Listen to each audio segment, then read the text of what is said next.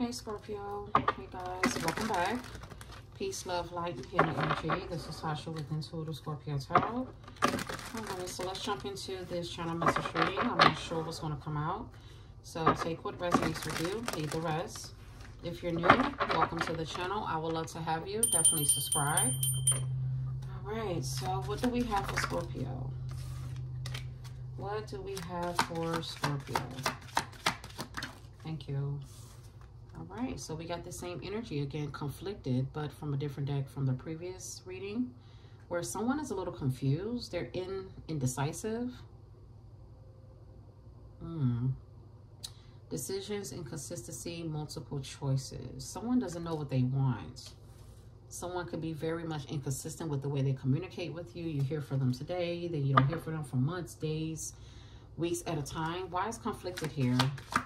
Now, also, this could be your energy where you are conflicted. You have multiple things that you got to choose from. Some type of decision. Tell me more. Conflicted. Thank you. All right, so we have clinging, holding on, obsessing, or watching. So someone doesn't know what they want, but someone is still holding on to you. Huh. Give me one more conflicted. They're still holding on, but don't know what they want to do, but they're being inconsistent. We have epiphany, realizations, awakenings, and understanding. So someone is going through like a wake-up call here, having an aha moment. Hmm. Okay, so it's a masculine energy that things are frozen between you and them. There's silence, no words coming from this individual there's definitely some type of distance, separation going on between you and someone that there's no communication, nothing is happening. But someone is still waiting and hoping and wishing to hear from you. Could even be manifesting you with a hoping card. Hmm. All right, so let's get into it. Let's see what we got going on here. Let's see what we got. All right, so I'm gonna pull out the white cards. I haven't used these in so long. All right. Let's give these a shuffle. So we got a masculine energy here who's conflicted. But they're going through some type of an awakening. Mm -hmm. And they're still holding on to you, even though there's silence, there's distance between you and them. All right, two more shuffles.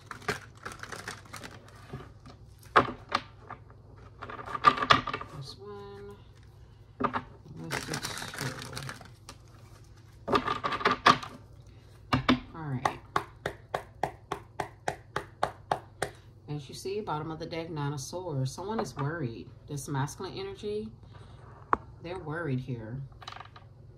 Having sleepless nights in their head about it all.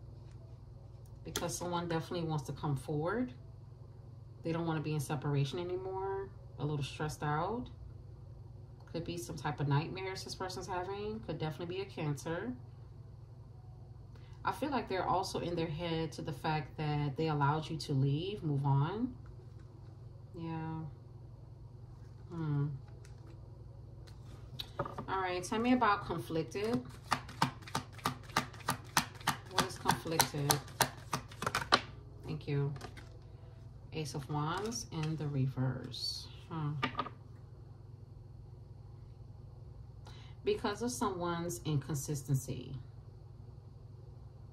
you're not motivated to give this another try.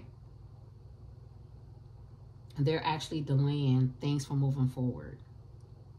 What is clinging? There's like a hold up, a standstill. Yeah.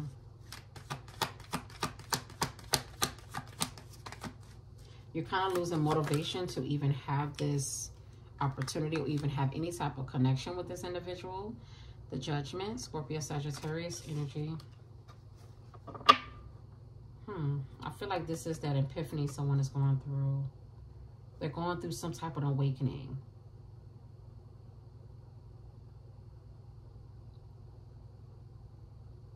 going through a phase where they're possibly are asking the universe for help, assistance, forgiveness, have mercy on them.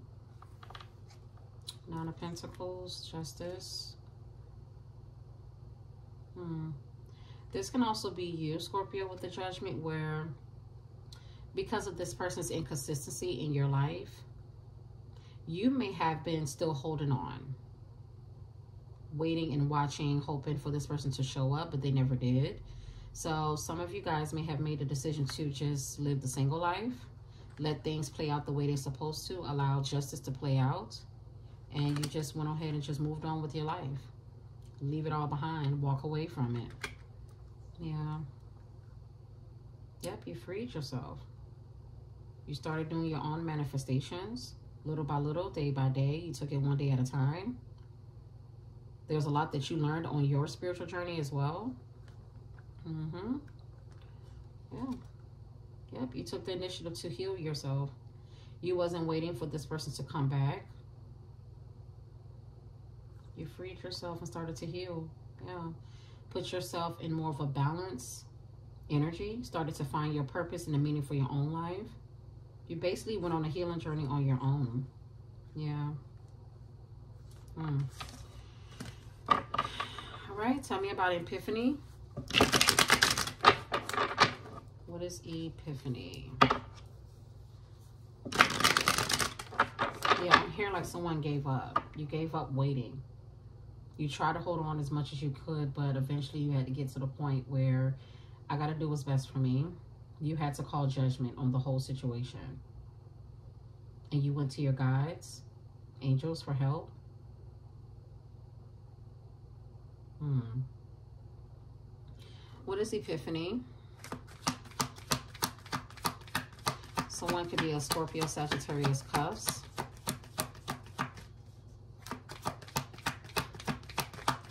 What is Epiphany?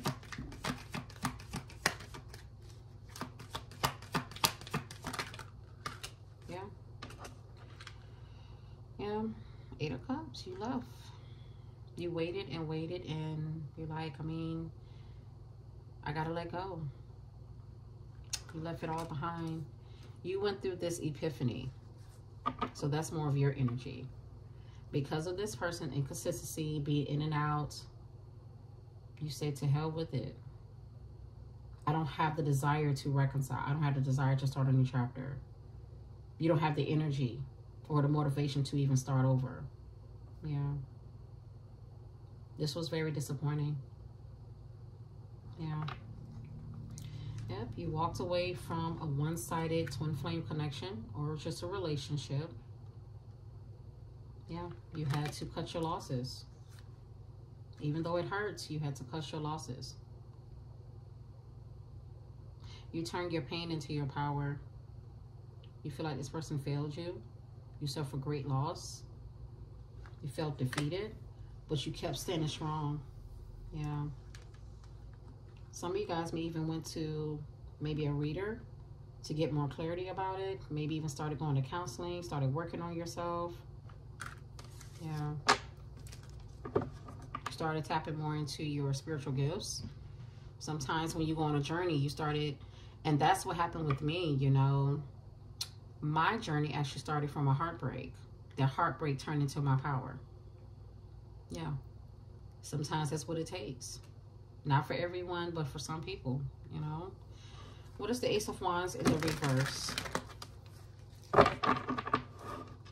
Mm -hmm. Everyone's journey starts in a different way. And sometimes the disappointments actually leads you to a different life. Mm -hmm. Ace of Wands in reverse and conflicted.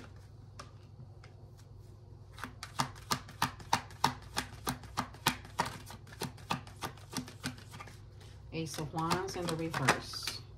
Thank you. I heard playing games just now. Seven of Swords. You feel like this person just almost doing this on purpose. They're not trying to make things right. They're constantly lying and being sneaky, holding things up intentionally. Yeah. The Tower. Yeah, it's like they still was doing deceptive energy even though the relationship has already crumbled. This tower is also spiritual awakening as well. And again, you may have had some type of wake-up call when it came to this connection, family, relationship. Yeah. Yeah. You may end up hearing from a person. I keep seeing cancer energy here. So some of you guys are dealing with the cancer or just another water sign. But I feel like the minute that you woke up, you made your decision, you may hear from someone, this water sign, but by the time they reach out and try to come towards you, you're not going to want it because, yeah, I'm hearing they took too long. Why they took too long is because they was entertaining third parties. Yeah. They made you feel like a choice. Like you had to fight for their attention. Yeah. Mm-hmm. Ace of Swords. Yeah. Wow. All right. What is the judgment and clinging? What is judgment and clinging for Scorpio? Sun, Moon, Rising, and Venus. Take what resonates, everyone. Leave what doesn't, okay? What is judgment and clinging? That card flew out in the reverse. Scorpio. Yeah, after so long, you may have waited and someone made you an option. They didn't put you first or they were just very inconsistent even though I feel like you guys still held on as much as you could, it came to a point where, you know what, time is going by, days are gone by. At this point, I have to give it to the universe. I got to surrender this. I have to do what's best for me because I don't feel like this person is going to change. I tried to hold on. But you guys went through a personal transformation from this situation. Yeah. This was more of a personal thing for you. Mm-hmm. Because they kept things stagnant. Nothing changed. You may have went through a part in your life where you were afraid of change, but this situation may have forced you to go on your own journey. You see, you started to see things, recognize things, get a better understanding of who you was dealing with, and really not so much about you, but really recognizing yourself. Yeah. Mm-hmm. Wow. Hmm. All right, so let's get the final message. What is the Eight of Cups and Epiphany? Eight of Cups and Epiphany.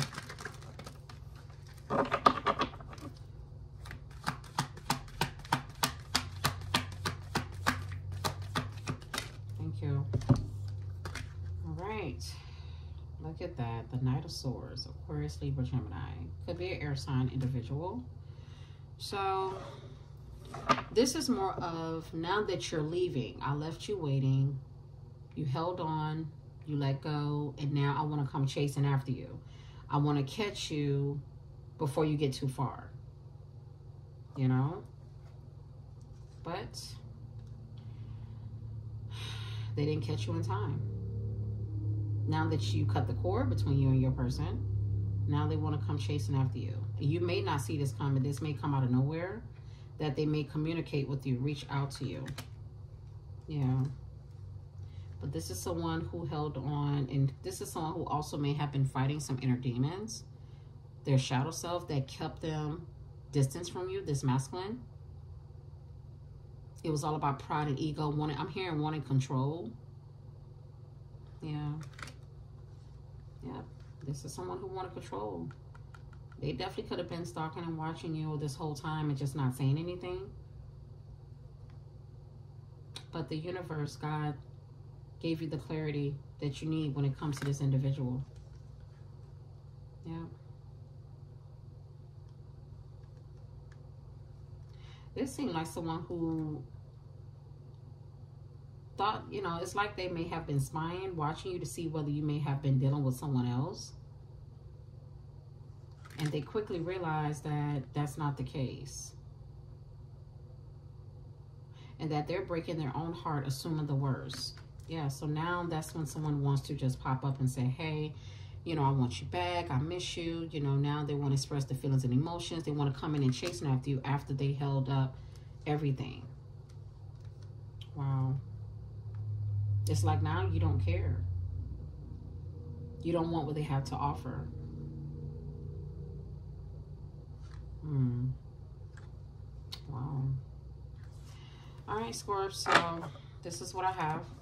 Thank you all for joining me in this reading. I appreciate you guys so much. Don't forget to thumbs up, comment below, subscribe, and I will see you on the next reading. Bye-bye.